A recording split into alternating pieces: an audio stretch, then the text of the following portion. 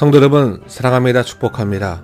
오늘도 주님의 은혜와 평강이 여러분의 삶에 가득 넘치시기를 주님의 이름으로 축복합니다. 오늘은 2020년 4월 30일 목요일입니다. 오늘 하나님께서 여러분에게 주시는 주님의 말씀은 에스겔서 48장 30절에서부터 35절까지입니다. 오늘 본문은 김정목 지사님께서 봉독해 주겠습니다. 살아계신 주님의 음성을 성경을 통해 들으시기 바랍니다. 에스겔 48장 30절로 35절 말씀입니다. 그 성읍의 출입구는 이러하니라 북쪽의 너비가 4,500척이라 그 성읍의 문들은 이스라엘 지파들의 이름을 따를 것인데 북쪽으로 문이 셋이라 하나는 루우벤 문이요 하나는 유다 문이요 하나는 레위 문이며 동쪽의 너비는 4,500척이니 또한 문이 셋이라.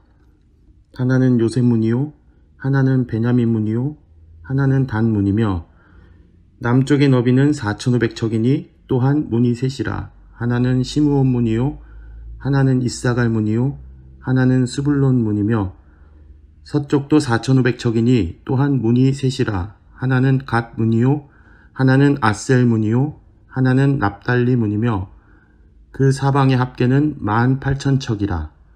그날 후로는 그 성읍의 이름을 여호와 삼마라 하리라. 아멘.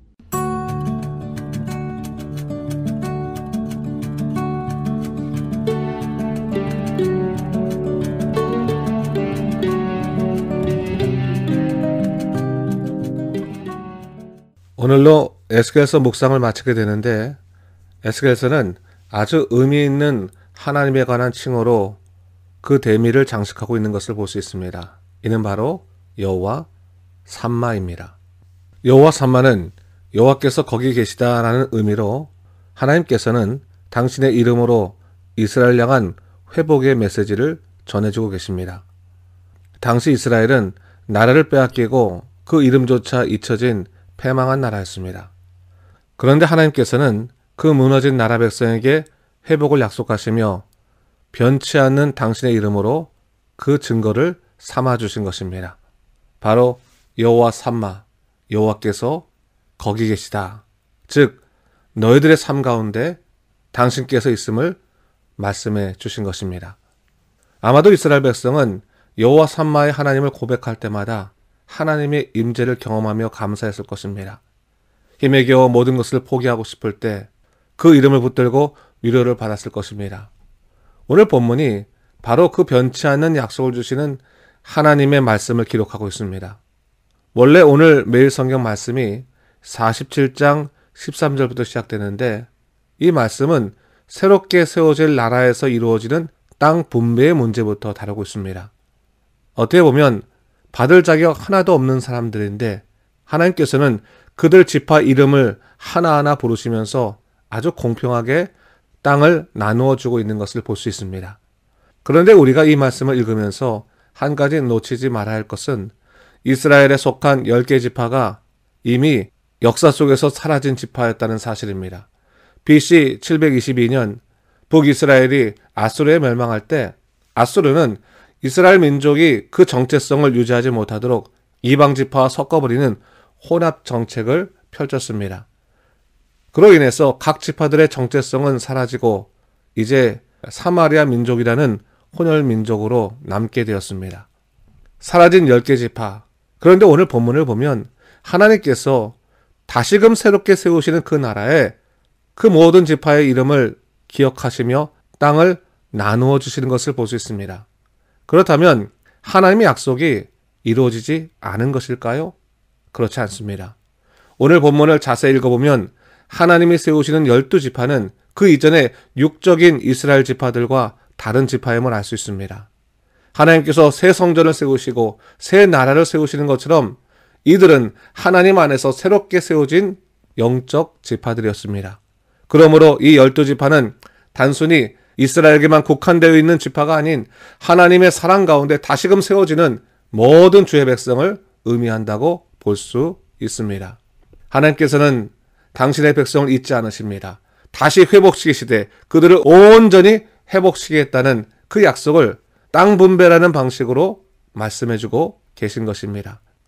그리고 이 약속의 핵심은 그 모든 지파들의 땅의 중심에 하나님의 성읍, 즉 하나님이 계시다고 하는 것이죠. 오늘 본문 30절 이하를 보면 성읍의 출입구가 나옵니다. 동서남북 세 지파씩 나누어진 땅 앞으로 출입구가 나와 있습니다. 이 성읍은 하나님에게 속해 있는 사람들이라면 누구나 출입할 수 있는 곳이었습니다. 그리고 그들 모두의 중심에 자리 잡고 있었습니다. 여러분, 이것이 무엇을 의미할까요? 하나님께서는 당신의 백성을 회복하시되 그들을 공평하게 대하시고 그들이 언제나 하나님께 나아올 수 있도록 그들의 삶 중심에 함께 계시겠다고 약속하시는 것입니다. 뿐만 아니라 그들이 하나님을 쉽게 부를 수 있도록 당신의 이름 또한 여호와 삼마라고 알려주셨습니다. 역사 속에서 잊혀져 버린 것 같은 열두 지파의 이름. 하나님께서는 그들의 이름을 하나하나 기억하고 계셨습니다. 그리고 당신의 회복의 역사에 그 이름을 다시 부르며 세우시는 것을 볼 수 있습니다. 이것은 오늘 우리들에게도 동일한 약속으로 주어집니다. 삶이 고통스럽고 힘겨울 때 우리는 힘겨운 상황만큼 어려워하는 것이 우리 이름이 잊혀지는 것입니다. 이전에 내가 능력 있을 때 나를 찾던 자들은 하나도 없고 마치 인적 없는 들판에 버려진 것 같은 인생을 하나님께서는 다시 찾아오시고 붙들어 오셨습니다. 그 이름을 기억하시고 그리고 회복시켜 주셨습니다. 하나님께서는 에스겔서 40장 이후부터 회복의 메시지를 전해 주시면서 특히 새 성읍과 성전을 측량하시고 있습니다. 그 이유가 뭐겠습니까? 이것은 허상이 아니라 실상임을 가르쳐 주시기 위해서입니다.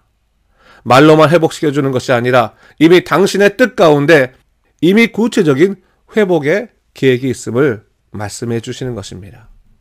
오늘 말씀을 읽으면서 우리는 이것이 환상 속의 일이라고 하기에는 너무나 치밀하게 펼쳐진 새 나라의 모습임을 보게 됩니다. 아직 이루어지지 않은 미래의 일인데 마치 이미 이루어진 것처럼 이 말씀을 통해서 우리는 하나님의 역사를 목격하게 됩니다.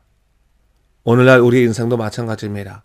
우리가 연약해서 어떠한 생각도 가질 수 없을 때 하나님께서는 이미 우리를 향한 구체적인 계획을 갖고 계십니다. 그리고 주님은 우리에게 말씀하시는 겁니다. 그 약속에 의지하여 나오라고 말씀하시는 겁니다. 그리고 그 첫 번째로 당신의 이름을 부르며 나오라고 말씀하시는데 이 이름을 여호와 삼마 하나님께서 거기에 계시다라고 하는 그러한 임마누엘 약속으로 초청하고 계신 겁니다. 그러므로 이제 그 이름을 부르십시오. 하나님께서 여러분과 어떻게 함께 하시는지 여러분의 삶에서 경험하게 될 것입니다. 이 믿음으로 굳게 사는 주의 백성 되시기를 주님의 이름으로 축원합니다. 오늘 말씀을 생각하면서 기도하기 원합니다. 여호와 삼마 하나님께서 우리와 함께 하십니다. 그 이름을 붙들며 기도하며 주님 언제나 주님만 바라보게 하시고 믿음으로 살게 해달라고 기도하시 바랍니다. 다 같이 기도합니다. 주 하나님 아버지 참으로 감사합니다. 오늘 여호와 삼마 이름으로 오신 하나님 하나님께서 바로 우리와 함께 계시다라고 하는 그 놀라운 약속을 주님께서 허락하여 주셨습니다. 주님, 그 약속 붙들고 살기 원합니다. 어떠한 어려움 속에서도 주님 의지하고 나가게 도와시고 성령 충만하게 모든 일 감당하도록 힘을 부어 주시옵소서. 오늘 하루도 우리 마음 가운데 주의 능력을 허락하시고 세상에 흔들리지 않는 굳건함으로 나아가도록 인도하여 주시옵소서. 이 모든 말씀 우리 주 예수 그리스도 이름으로 간절히 기도 드립니다. 아멘.